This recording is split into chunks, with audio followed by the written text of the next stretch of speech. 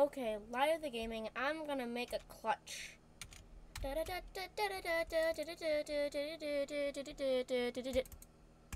Let's go. That's what I'm talking about. It took me um, almost a hundred tries and I got it right.